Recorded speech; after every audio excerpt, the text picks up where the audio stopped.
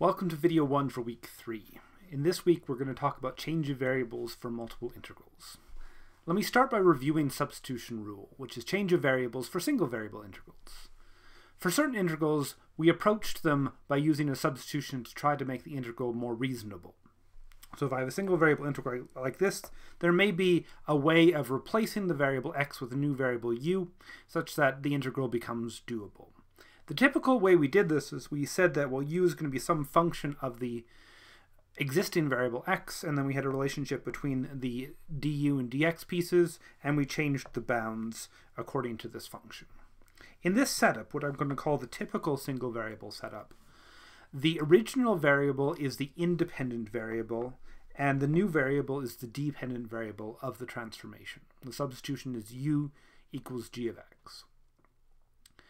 This worked for certain kinds of setups, setups where we were looking to do reverse chain rule, where things were set up nicely that we had an inside and an outside function, where something about the substitution and the setup where we could find a piece like this g prime of x that sort of made it all fit together.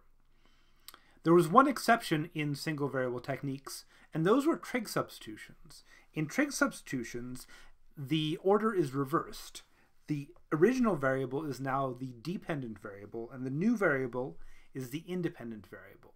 We still have the same relationship between the dx, in this case d theta, for a trig substitution.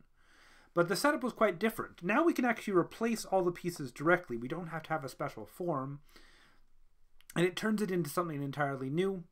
The bounds also change. The bounds now need the inverse function. So to change the bound here, I need the inverse of the substitution because these are the bounds in the original variable. These are going to be the bounds in the new variable. And the new variable being the independent variable, I need the inverse function to get back to that independent variable. I need the inverse function to change the bounds. Now it turns out that the second mode is actually the one I want to generalize to change of variables to multiple integration. And I think that sort of makes sense because it's the more flexible of the two. It doesn't require to have a certain kind of setup. It's really just changing the situation. That's what trig substitutions were doing. They were changing the situation to try and make a more reasonable setup, as opposed to more particularly trying to do the chain rule in reverse. The thing we're going to need is the relationship between the differential terms, between the du and the dx terms, or the d theta and the dx terms. This is more complicated because we now have multiple of these terms. We have dx, dy, dz in R3, for example. And to get that relationship, I'm going to go to a thing called the Jacobian matrix, which I introduced briefly in Calculus 3. I'm going to define it here only for functions that have the same number of input and output variables, because those are the kinds of things we use for change of variables. The Jacobian matrix is the matrix of all the partial derivatives. So each row I take a component of this function. So f1 is the first output, f2 is the second output, so forth and so on. In each column I take one of the original variables, x1, x2 up to xn, and between that I get an n by n matrix that sort of captures all of the derivative information. So again, if I have this function that I'm representing as change variables, the original variable, as I said in the comparison with single variable situations, the original variable is going to be the dependent variable, the output. The new variables are going to be the independent variables, the input to this transformation. And I have the relationship between the differential terms is now the determinant of that matrix of partial derivatives. And I call that the Jacobian determinant or often we'll just call that the Jacobian. Now what you should think of here is matrices, determinants of matrices, measure the effect on area and volume. And this kind of thing I called dA or dV depending on the dimension. It's kind of an infinitesimal area or volume, so this makes sense as a change in area or volume. It tells us how the infinitesimal area and volume in the new variables and the old variables relate to each other. I want to finish this video by calculating some Jacobian terms. In the next video, we'll get into some actual examples of change of variables for integration. So here's the situation. Again, the old variables are going to be the output, the dependent variables. The new variables are going to be the input. So I have xy is some function of uv. This is a linear change of variables. Uh, x is 3u, y is 4v.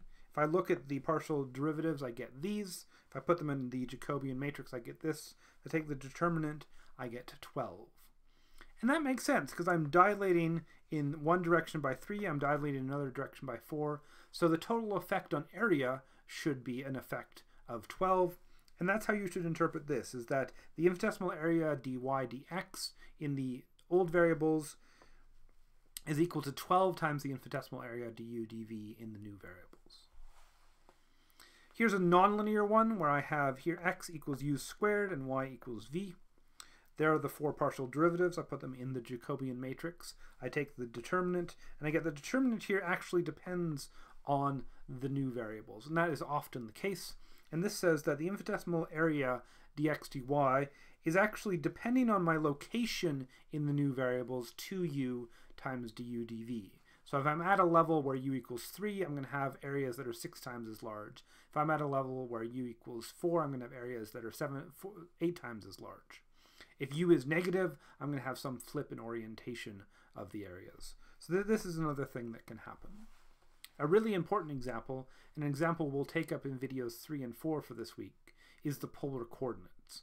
I'll go into more detail in videos 3 and 4, but let me briefly talk about the Jacobian determinant for polar coordinates. This is the transformation for polar coordinates, which you may remember from previous courses. There are the partial derivatives, there's the Jacobian. The determinant of the Jacobian is just the variable r. So this means that dx dy, the variable, the, the infinitesimal area in the original variables is r dr d theta. And I want to give you a visualization for why this should be scaled by the radius. So if I look at a piece of polar coordinates, these pieces have the same difference in radius and they have the same difference in angle. So we have a first angle and a second angle, and then we follow those rays out, the first angle, second angle, those angles stay the same all the time. The difference between the radius is about 0.4 in both these cases, but this area is off, obviously a lot larger than this area. So the dr d theta, this infinitesimal piece of area, is small when radius is small and large when radius is large. So it makes sense that it's scaled by the radius. The larger the radius is, the larger my little pieces of area in the approximation that build the integral are going to be.